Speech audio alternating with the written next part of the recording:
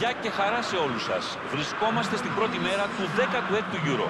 Από τις 55 χώρες μέλη της UEFA που ξεκίνησαν τα προκληματικά, οι 24 κατάφεραν να είναι στη σημερινή γιορτή.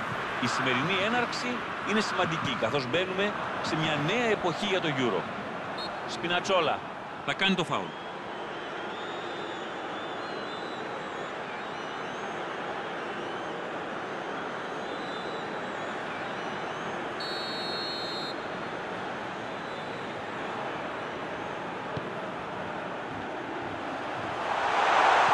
Μάρκο Βεράτη.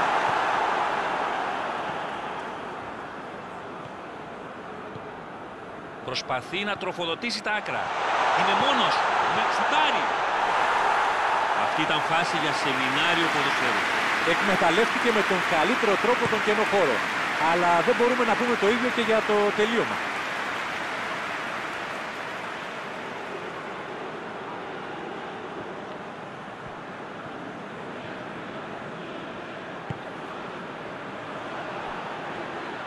Κάνει μια μακρινή ψηλή παλιά. Άκομψη η επέμβαση του. Κάνει φάουλ. Και να, ήδη έχουμε την πρώτη κίτρινη κάρτα στο μάτι.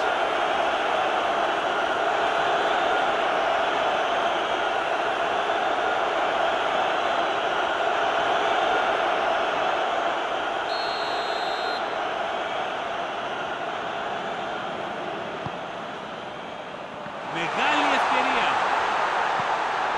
Βλέπει την μπάλα. Επέστρεψε πίσω και κάλυψε πολύ έξυπνα το κενό εκεί για την ομάδα του. Μέσα από ενέργειες σαν και αυτή, νομίζω καταλαβαίνει κανείς πως ε, οι μεγάλοι παίκτες κα- Με καλές προϋποθέσεις αυτό το σούτ. Καλού κακού καθαρίζει τη φάση.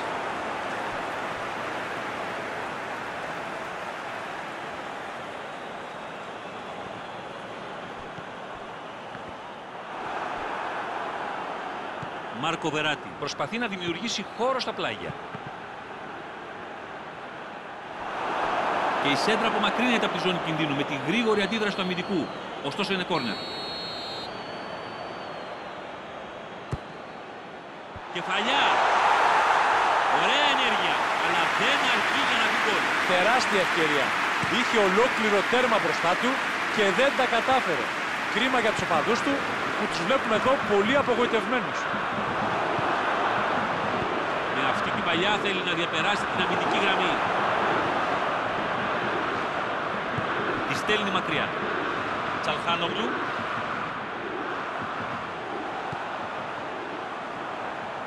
Θα πάει προς τα πιάνει ένα σου. Η προσπάθεια δεν ήταν άσχημη, αλλά όχι και για γκολ.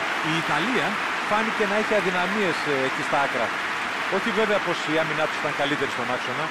Θα πρέπει να καταλάβουν ότι στάθηκαν πολύ τυχεροί σε αυτή τη φάση.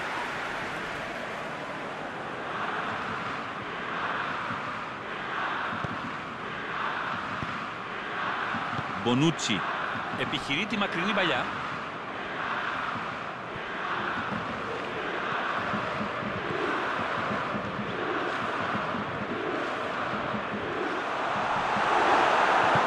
Ο παίκτης έκανε μια καλή κούρσα, αλλά τελικά δεν τα κατάφερε. Κινείται απειλητικά προς την αιστεία. Κόπηκε αποτελεσματικά από τους αντιπάλους. Το κοντρόλ που έκανε τον πρόδωσε εδώ. Φλωρέντσι ψάχνει τη συρτή πάσα. Οι παίκτες ξεχύνονται μπροστά. Η Μόμπιλε θα περάσει και είναι μόνο. Υπέροχη προσπάθεια. Και είναι μέσα. Τέτοια γκολ στη λήξη του μικρόνου είναι θανατηφόρα. Γιατί τσακίζουν την ψυχολογία του αντιπάλου. Πάνω στην ώρα το πέτυχαν. Και ο προπονητής τους προφανώς τώρα στο ημίχρονο θα τους πει άλλα από αυτά που σχεδίαζε. Τι να πει βέβαια και ο αντίπαλος προπονητής. Πάρα πολύ ωραία και ομαδική δουλειά εδώ. Βλέπουμε πόσο γρήγορα πέρασαν από την άμυνα στην επίθεση, απλά και αποτελεσματικά. Θεωρώ πολύ πιθανό βέβαια αυτό που εμάς μας φαίνεται απλό να έχει δουλευτεί αμέτρητες ώρες στην προπόνηση.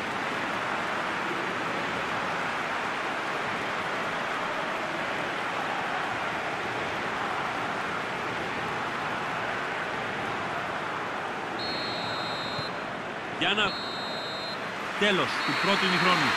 Δύο ομάδες αποσύρονται και φυσικά όλα είναι ανοιχτά στο δεύτερο μέρος. Καθώς Το 1-0 μόνο ασφαλές σκορ δεν μπορεί να θεωρήσει. Λοιπόν, τι μας έδειξε το πρώτο ημίχρονο. Εδώ, Χρήστο, εξαργύρωσαν μια τακτική που τη δουλεύουν πολύ καλά. Άπαξ και ξεκινήσουν αντεπίθεση δύσκολα στα μαχτήρια. Φαντάζομαι ότι έτσι θα συνεχίσουν και στο δεύτερο μέρος. Το πρώτο μέρος έκλεισε με ένα γκολ διαφορά. Ξανά πίσω στις θέσεις μας, το δεύτερο ημίχρονο άρχισε. Η Ιταλία τα πάει καλά θα έλεγα σήμερα. Και λίγο αν προσέξει μπορεί να... Έτοιμος να σουτάρει. Μέσα! Τα πράγματα πάνε όλο και καλύτερα για αυτούς. Διασκελισμό, κίνηση, τελείωμα. Τα έκανε όλα αριστοτεχνικά. Εδώ πολλοί θα σκεφτούν γιατί δεν το έκανε νωρίτερα. Και πως ε, έκανε επίδειξη. Αυτό που εγώ πιστεύω είναι πως ο πιο σίγουρος τρόπος για να σκοράρεις είναι να μπεις παρέα με την μπάλα στα δίκτυα. Τώρα το σκορ είναι 2-0 υπέρ τους. Το 1-0 ήταν αρκετά έθραυστο. Τώρα σίγουρα νιώθουν ε, πιο ασφαλείς. Και η πίεση σαφώς μεγαλώνει για τους αντιπάλους. Μάρκο Βεράτη ψάχνει να δια... και είναι έτοιμος να σουτάρει. Άλλο ένα γκολ. Πλέον, το προβάδισμα τριών γκολ όλα δείχνουν να έχουν τελειώσει. Τι να πει κανείς για αυτό το γκολ; Κινήθηκαν ε, πανέξυπνα και οι δύο. Τόσο ο σκόρερ όσο και ο συμπαίκτης που του έβγαλε την assist. Και με αυτό το γκολ έκανε hat-trick σήμερα. Έχει πάρει όλο το παιχνίδι στις πλάτες του και δικαιώνεται γι' αυτό. Και για όσους άνοιξαν τώρα τους δέκτες τους, το σκορ είναι ήδη στο 3-0. Τι να πει κανείς τώρα, τους κάνουν ό,τι θέλουν πλέον. να δούμε μόνο πού θα σταματήσει ο δείκτης του σκορ.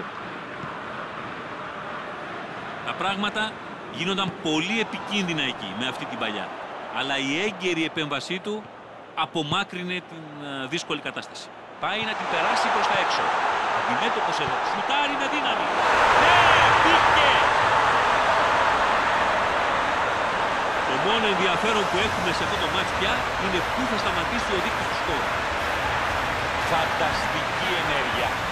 Τα έκανε όλα μόνος του. Αυτό το γκολ ήταν συνδυασμός γρήγορης σκέψης και γρήγορων ποδιών. Στο σύγχρονο ποδόσφαιρο γενικά η ταχύτητα είναι πολύ σημαντική. Σήμερα είναι ασταμάτητος. Έχει βάλει τέσσερα γκολ.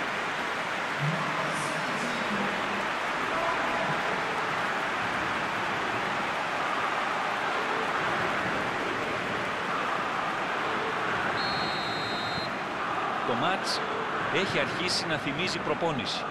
Αυτή τη στιγμή αναμφίβολα είναι καλύτερη μέσα στο γήπεδο και πιστεύω πως θα προσπαθήσουν να κάνουν κι άλλη ζημιά στον αντίπαλο.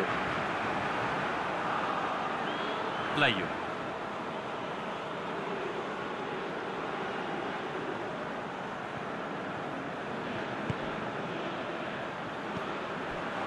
Εμρέ έβαλε σωστά εκεί το πόδι του και κέρδισε τη μονομαχία. Και ακόμα μένει όρθιος. Είναι απίθανος.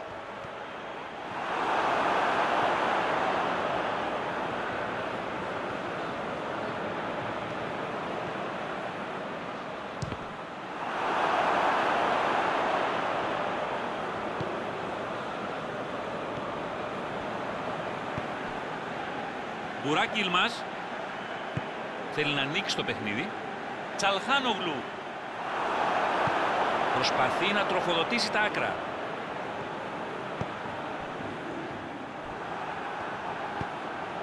Τον βγάζει σε πολύ πλεονεκτική θέση. Είναι σε πολύ πλεονεκτική θέση. Με αυτή την παλιά θέλει να διαπεράσει την αμυντική γραμμή. Ζορζίνιο ψάχνει να διαπεράσει την άμυνα. Διαβήτηση παλιά του. Τέτατε, μεγάλη είναι ευκαιρία. Το σούτ του σταμάτησε στο οριζόντιο δοκάρι. Να και το σφύριγμα της λήξης. Ιδανικό ξεκίνημα θα λέγαμε. Με νίκη την πρώτη μέρα. Στη συνέχεια όμως θα πρέπει να χτίσουν πάνω σε αυτό το αποτέλεσμα. Για πες μας, Γιώργο, τι σκέφτεσαι; Έκαναν ένα πολύ ελπιδοφόρο ξεκίνημα και οι τρεις βαθμοί στο σακούλι τους. Αυτό είναι το πιο σημαντικό, συν ε, η θετική ψυχολογία για τη συνέχεια. Τα τεχνικά νομίζω περνάνε σε